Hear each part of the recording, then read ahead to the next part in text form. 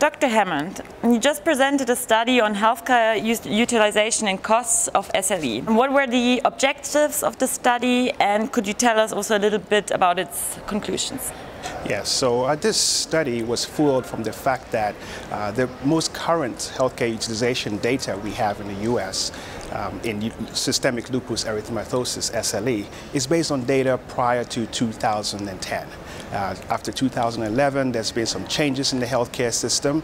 Uh, there's been some new novel treatments, and we don't really know how these treatments have impacted the healthcare utilization system.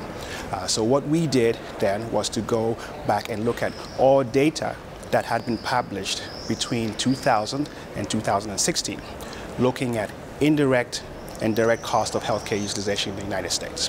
Uh, we did this in what is called a systematic uh, review and this will be at the apex of that evidence pyramid through which it serves as a lens to evaluate all types of study designs, cohort studies, prospective cohort studies, retrospective studies, and actually case studies, case control studies that would look at healthcare utilization costs in the United States. You mentioned in your presentation that um, more data is needed and also better treatments to keep patients in a lower stage of the disease. How do you see the development here in the, in the future and what are actions taken at the moment? Yes, so maybe just to summarize some of the uh, direct costs as well um, associated with SLE.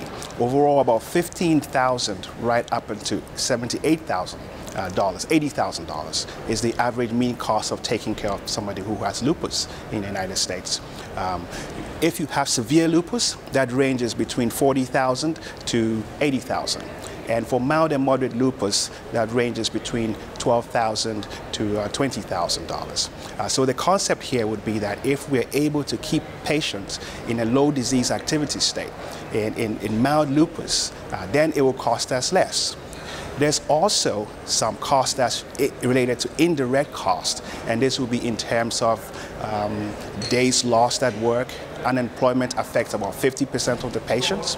Um, every month, persons with lupus on average take out half a week um, compared to uh, other persons in the United States that take out only two hours a day uh, from the work week. So all of this adds up significantly.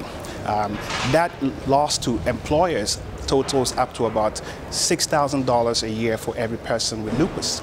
Uh, if you have lupus nephritis, which is um, a condition resulting from uh, the SLE that affects the kidneys, that cost rises to about $7,500. So it will save us quite a lot if we could keep persons in a lower or milder state of, of lupus disease activity. Uh, is there currently much funding going into research how this can be done and how ready are insurance companies and healthcare systems to help doctors keeping patients in the low stages of the disease? Yes, that's a good question. Yeah, so we did have only a few studies, five studies that looked at more recent novel treatments. Uh, so uh, this data does not incorporate a good use of that data from uh, the novel treatments that have, have um, come out. Uh, certainly we need more data. Uh, that will be very important. And I'm sure for every healthcare marketplace or every healthcare system, they would actually want to have um, better treatments, uh, which will keep people um, in, in, lower disease states or, or keep the lupus activity down because it translates to less cost for the healthcare system and for the society and for employers as a whole. And what are your estimates uh, for Europe um, in terms of um, the uh, healthcare utilization and costs of uh, SLE? Um, we do have other activities that are going on to evaluate the healthcare cost in, in, in Europe as well because the markets are different. Um, at the same time, we also realize that because uh, persons with severe disease have more uh, burden and more disease burden and cost, we expect to see a trend like that, where those who are severe have higher costs, those who are mild to moderate have lower costs. So I expect to see a similar trend, although it may be slightly lower than in the United States. Okay, uh, Dr. Hammond, thank you very much. Thank you.